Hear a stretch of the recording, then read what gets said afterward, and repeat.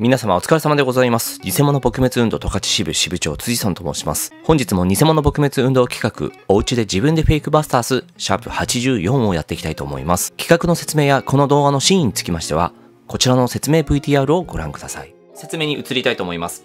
皆様方がフリマサイトなどの二次流通リセールサイトで購入した今回の対象スニーカーを私が所有している一次流通品または第三者機関鑑定済みの正規品と認められたスニーカーに限定し動画上であらゆる角度から比較することによって偽物の撲滅運動そして皆様方が所持しているスニーカーの中でこれは偽物かもしれないといった偽物に対する不安解消につなげるための動画企画となっております。また、ナイキクオリティ、個体差がよくわからないという方はですね、今回の動画では説明を省略させていただきますが、ぜひこちらのバックナンバーシャープ82の動画のですね、冒頭2分から4分16秒までのおよそ2分間の説明をご覧いただければと思います。まあ、結果としてですね、私が皆様方に言いたいのはですね、個体差を知ってから本物を知ることが一番重要なことであると。個体差を知らずしてこれは偽物ではないかと。不安になるのはですね、ただの知識不足に過ぎないということです。また過去様々なスニーカーの企画動画を公開しておりますので、ぜひその他のバックナンバーも参考にしていただければと思います。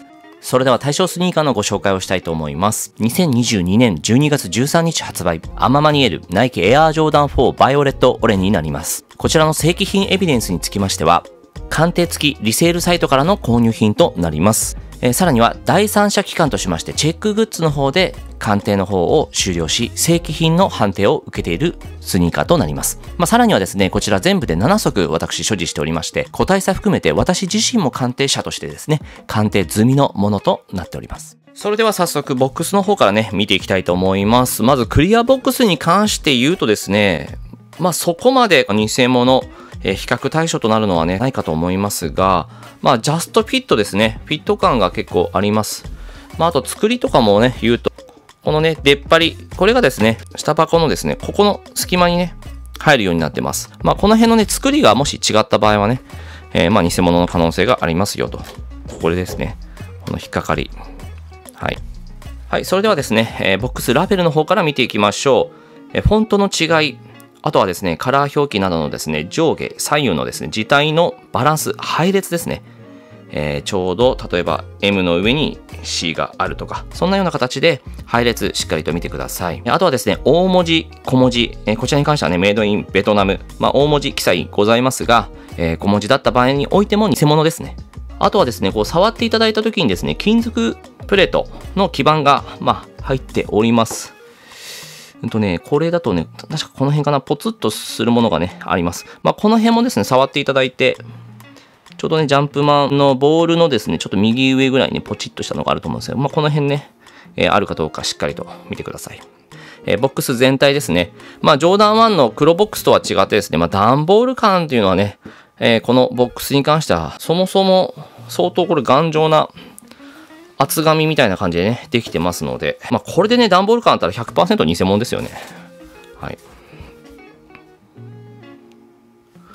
本当であればね、色合いとかもお伝えできればいいんですが、画像を通すとですね、なかなか伝わりにくい部分がございます。で、上蓋の裏側ですね。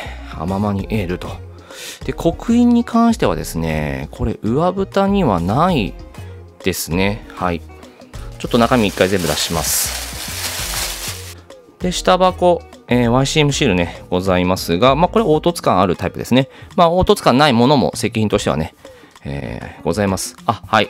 えー刻印に関してはですね、下箱のね、この辺についております。まあ、場所に関してはね、多分、この横であったり、まあ、いろいろ様々かと思いますけども、下箱の方にね、刻印が入っていると。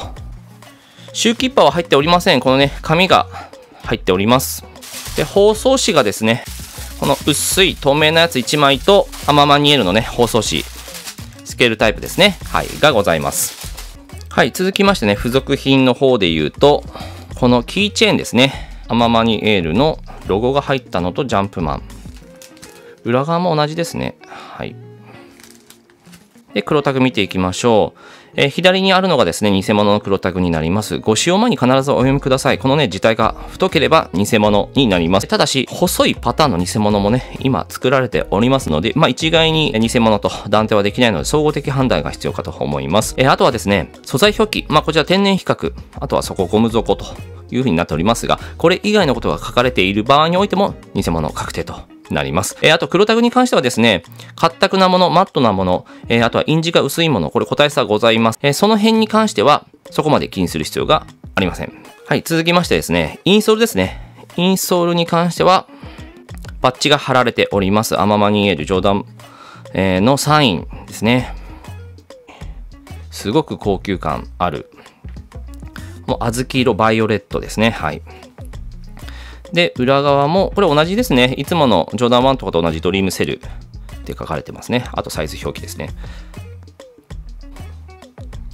はい。それではスニーカー本体のディテール見ていきたいと思います。まずはね、フォルム見ていきましょう。えー、まあ、ジョーダン1同様にですね、フォルムも重要かと思います。はい、クローズアップしていきたいと思いますが、アママニエルの A がね、入ったバッジっていうんでしょうか。でもレザーの、質がね、ものすごくこれ特徴的なレザーの質になってますね。まあ、傷つきやすいって言えば傷つきやすいとは思いますけど、すごく上品なレザーをアッパーに採用してますね。で、ちゃんとゴム、メッシュになってますね。こんな感じで、くっついてはいないですね。はい。中のレザーとね。中のレザーはスウェードかな？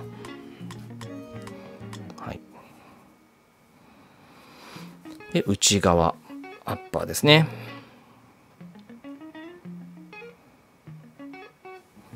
塔の方から見ていきましょう。塔に関しても、塔ホールとかはね、特になく、はい、シューレースはすでに紐がね、通されている状態と。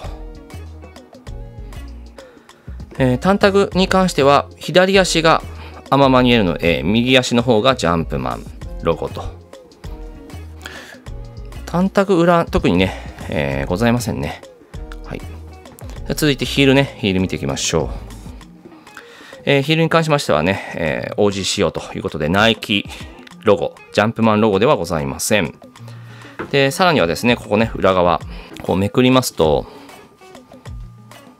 英語表記とジョーダンのね、サインが、シグネチャーがございます。こっちもかな？こっちはシグネチャーないですね。英語表記のみ。はい。ちょっとアッパー戻りますけど、ミッドソールですね。ミッドソール見ていきましょう。えー、ここのね、カラーリングとここのカラーリング、色合い、濃度が違いますね。でビジブルエアの中はグレーになってます。で、アウトソールですね。まあ、アウトソール、この凹凸感星型のね、えー、この辺は個体差すごくあります。で、アウトソールに関しては偽物のね、クオリティの中でも正規品、え、クオリティというのがですね、該当しますので、まあ、そこまでね、えー、気にする必要はないかなと思います。それでは続いてマジックライトね、見ていきましょう。えー、まずアッパーから見ていきます。えー、特には反応箇所ないですね。アウトソール、ミッドソール。頭部分のね、この糊付けとかはね、これ反応ありますけども、縫いとね、反応なしですね。中底見ていきましょう。中底に関しても反応、縫いとね、反応なしですね。反応なしです。はい。ライニングとね、中底見てなかったですね。すいません。ちょっと飛ばしました。えー、イレギュラーな形の順番になりますが、ライニングもこれしっかりね、キルティングです。ものすごく贅沢な。で、中底。で、中底に関してはですね、まあ、ライトとかをね、照らしていただいて、ちょっと見えにくいかと思うんですけど、見えますかね？こんな感じで、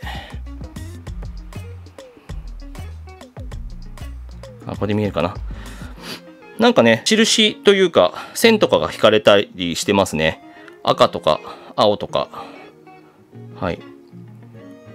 で、えっ、ー、と、テープの方がね、黄色。黄色でも薄黄色ですね。でもこれ多分工場、あ、そうか、ベトナムだからね。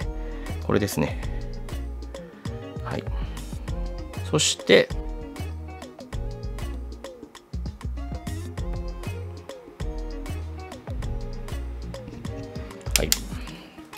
ということで、あらゆる角度から比較をしてきましたが、いかがだったでしょうか？些細なことでも構いません。何かご不明な点などございましたら、コメントいただければと思います。それでは本日の比較は以上で終わりたいと思います。お疲れ様でした。